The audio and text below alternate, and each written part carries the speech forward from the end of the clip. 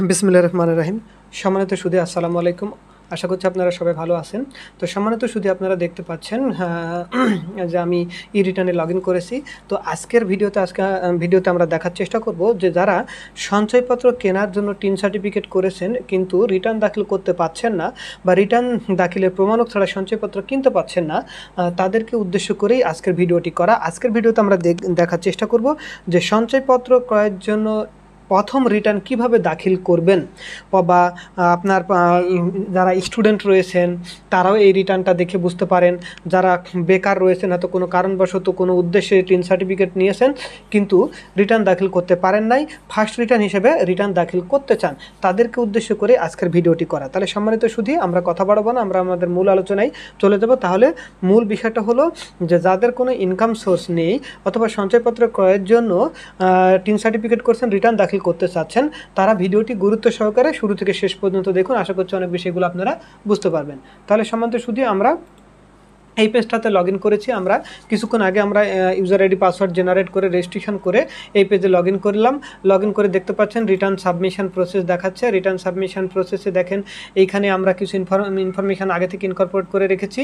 এখানে যে taxable income আমাদের আছে কিনা ইয়েস দিব। তারপর এটা আমরা নো দিব রেসিডেন্সিয়াল স্ট্যাটাস রেসিডেন্ট এটা বাই ডিফল্ট সিলেক্ট করা থাকবে। এখান থেকে দেখতে পাচ্ছেন আমাদের, যেহেতু এটা হাউস ওয়াইফের বা স্টুডেন্টের তার তো একটা ইনকাম সোর্স সেটা হচ্ছে ইনকাম ফ্রম আদার সোর্স এছাড়া তার কোনো ইনকাম নেই। এরপরে আমরা দিয়ে দেবো কি save and continue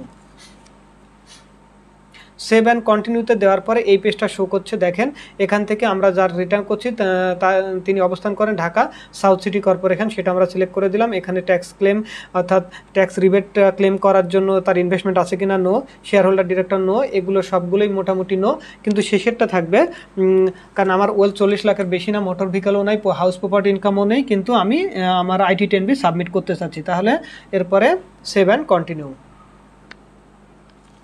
এরপরে দেখতে পাচ্ছেন এখান থেকে ইনকাম ফ্রম আদার সোর্স আমরা এনি আদার ইনকাম সিলেক্ট করেছি।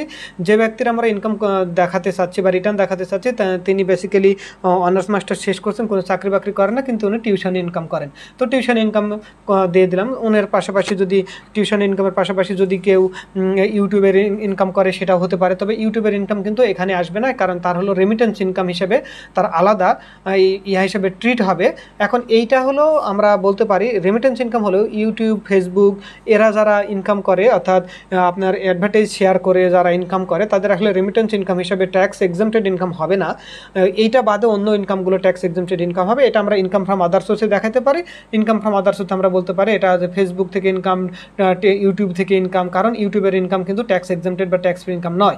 আচ্ছা যাই হোক, আমরা এখানে দেখাচ্ছি টিউশন ইনকাম বা স্টুডেন্টের যে ইনকাম থাকবে, সেটা আমরা দেখাই দিব। বা কারও যদি টেইলরিং বা দর্জির কাজকর্ম থাকে, সেইটাও আমরা এখানে দেখাতে পারি। এরপরে আমরা দেখাই দিব সেভ অন কন্টিনিউতে চলে যাব। কারণ এটা আমরা দেখিয়েছি। এরপর আমরা দেখাবো যে এক্সপেন্ডিচার ফ্যামিলি এক্সপেন্ডিচার এই ব্যক্তি মানে যে মহিলার কাজ করছে, তিনি ফুলি ডিপেন্ড অন হাজব্যান্ড আমরা এখানে বলে দিচ্ছি ফ্যামিলি ক্লোথিং অন্যান্য যে খরচগুলো, সেগুলো তার স্বামী বহন করে। এখানে জন্য আমরা কোনো কিছু দেই নাই। অ্যাকোমোডেশন বাসা ভাড়া, সে, তিনি তার স্বামীর বাড়িতে বসবাস করেন। স্টুডেন্ট হলে তো তিনি তার বাবার বাসা- বাসায় থাকবেন।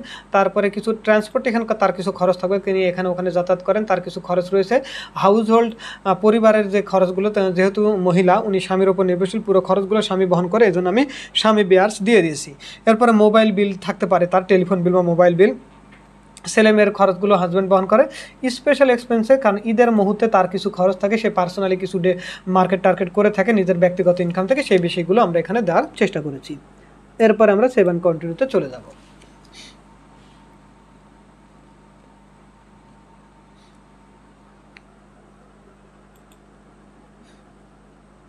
সেভেন কন্টিনিউতে গেলাম, এরপরে আমাদের অ্যাসেট দেখাচ্ছে। এই অ্যাসেটের মধ্যে যে ব্যক্তিরা আমরা রিটার্ন করছি, তার কোনো বিজনেস ক্যাপিটাল নেই নন এগ্রিকালচার প্রপার্টি নেই এগ্রিকালচার প্রপার্টি নেই ফিনান্সিয়াল অ্যাসেটও নেই। তার রয়েছে কি? গোল্ড রয়েছে। তার পনেরো বিয়ের সময়তে তার পনেরো ভরি বা বিশ ভরি গোল্ড পেয়েছে। উনি আমাকে যেটা বলেছেন, পনেরো ভরি গোল্ড সেটা আমরা দিয়ে দিয়েছি। এবং বিয়ের সময়তে তিনি কিছু টিভি ফ্রিজ ফার্নিচার কিছু আইটেম পেয়েছে গিফট হিসেবে সেটা আমরা দিয়েছি। ক্যাশের আইটেমটা এটা পরে বসাতে হবে, কারণ ক্যাশ ফ্লো আপনাকে তৈরি করতে হবে। কোন কোন সোর্স থেকে ক্যাশ আসলো, কোন কোন সোর্স থেকে ক্যাশ চলে গেল, সেটা করার পরে ক্যাশের ব্যালেন্সটা আপনাকে বসাতে হবে। প্রভিডেন্ট ফান্ড আপনার জন্য না আদার ডিপোজিটও আপনার জন্য না। এরপরে যেটা করতে হবে, নিচে এসে আমরা এখানে একটা সামারি দিয়েছি, এটা আপনাকে আলাদাভাবে আগে ক্যাশ বুক তৈরি করতে হবে। যে ওই ব্যক্তি যেহেতু যে মহিলার কাজ করছে, উনি আগে টিউশন ইনকাম করতে বা কিছু স্বামীর কাছ থেকে বিভিন্ন সময়তে এক টাকা, দুই টাকা, পাঁচ টাকা বা হাজার হাজার টাকা সঞ্চয় করে মানে অল্প অল্প করে তিনি ছয় লাখ টাকা পাঁচ, ছয় লাখ টাকা সঞ্চয় করছেন, সেটা দিয়েছি।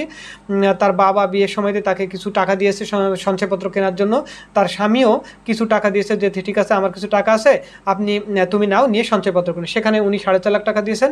আর তার ম্যারেজ গিফট বার্থডে গিফট বা অন্যান্য সময়তে সে বিভিন্নভাবে গিফট পেয়েছে।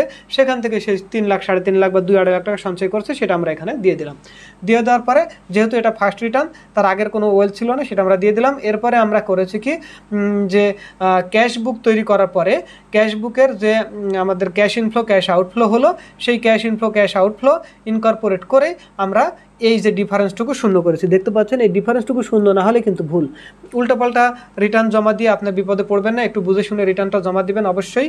এইভাবেই মোটামুটি এ টু জেড আপনাকে ইনকর্পোরেট করে রিটার্নটা দাখিল করতে হবে। এরপরে যেটা করতে হবে, নিচের দিকে চলে আসে নিচের দিকে এসে সেভ অ্যান্ড কন্টিনিউতে চলে যাবেন।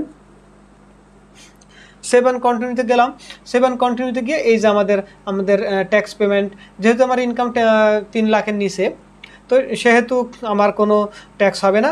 এই পেজটা জাস্ট অটোমেটিক এমনি শুধু দেখানোর জন্য। এরপরে আমরা করব কি সেভ দিয়ে দিব। নিচে যে যে বলছে প্রসিড টু অনলাইন এখন যদি আমরা রিটার্ন দাখিল করতে চাই, এই যে আমাদের প্রসিড টু অনলাইনে গেলাম। এরপরে আমাদের রিটার্ন ভিউটা চলে আসবে। একটু সার্ভারের সমস্যার কারণে হয়তো একটু সময় নিচ্ছে। রিটার্ন ভিউটা চলে আসবে।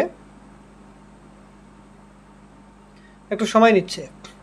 যাই হোক আমরা অন্যান্য ভিডিওতে দেখানোর চেষ্টা করেছি। এখানে সার্ভারের সমস্যার কারণে হয়তো রিটার্ন ভিউ যে দেখতে পাচ্ছেন, দেখেন লেখা আছে রিটার্ন ভিউ বাট রিটার্ন ভিউটা হচ্ছে না। সার্ভারের সমস্যার কারণে হতে পারে। যাই হোক, সমান্ত শুধু আমরা পুরো বিষয়টুকুই আপনাদের দেখানোর চেষ্টা করলাম যে এ টু জেড কীভাবে রিটার্নটা আপনি তৈরি করবেন সঞ্চয়পত্র ক্রেয়া- কেনার জন্য। তবে এটা কিন্তু যদি ইনকাম ট্যাক্স সম্বন্ধে আপনি না জানেন, তাহলে অবশ্যই অবশ্যই ভুলেও এই কাজগুলো করতে যাবেন না। কারণ যে বিষয় সম্বন্ধে আপনার ধারণা নেই, সে বিষয়টুকু নিয়ে আপনারা কাজ করবেন না। এটা ভুলভ্রান্তি হওয়ার সম্ভাবনা বেশি থাকবে। এই জন্য ওই ভুলভ্রান্তির যে ব্যাপারগুলো থাকবে, সেগুলো কাজ করবেন না। দরকার হলে একজন পথ জীবনের প্রথম রিটার্ন অনেক গুরুত্বপূর্ণ একটা রিটার্ন এটা হলো আপনার জীবনের সহ সহায় সম্পত্তির ডিটেলস বর্ণনা থাকবে। শুরুতেই কিছু হোয়াইট মানি তৈরি করা যায় যারা জিরো রিটার্ন বলে সম্পূর্ণ জিরো দিয়ে দিচ্ছেন, তাদেরকে আমি বারবার বলব যে আপনার জিরো রিটার্ন মানে জিরো জিরো ট্যাক্স রিটার্ন মানে সম্পূর্ণ কিন্তু জিরো না। আয় থাকবে, ব্যয় থাকবে, সম্পদ থাকবে, কিন্তু ইনকাম থাকবে ট্যাক্সেবল লিমিটের নিচে। এটা কিন্তু মাথায় রাখতে হবে। যাই হোক, সম্মানিত শুধু পুরো বিষয়টা দেখানোর চেষ্টা করলাম। ভিডিওটি যদি ভালো লেগে থাকে, অবশ্যই লাইক দিবেন শেয়ার করবেন কমেন্ট করে জানাবেন এবং কখনও যদি কোনো রিটার্ন ফিল আপ করতে না পারেন, যদি আমাদের কোঅপারেশন নিয়ে নিতে চান যে আমাদের রিটার্নটা আপনি ফিল আপ করে দেন, তাহলে অবশ্যই অবশ্যই আমাদের একটা নাম্বার দেওয়া থাকবে, সেই নাম্বারে যোগাযোগ করবেন, ইনশাল্লাহ আপনাদেরকে সর্বাত্মক সহায়তা করব। যাই হোক সমান্তর শুধু কথা বাড়াবো না। আজকে পর্যন্তই, সবাই ভালো থাকবেন, সুস্থ থাকবেন, এবং যারা আমার চ্যানেলকে এখনও সাবস্ক্রাইব করেন তারা অবশ্যই চ্যানেলটিকে সাবস্ক্রাইব করে নেবেন নতুন নতুন আপডেটেড ভিডিও পেতে। ধন্যবাদ সবাইকে।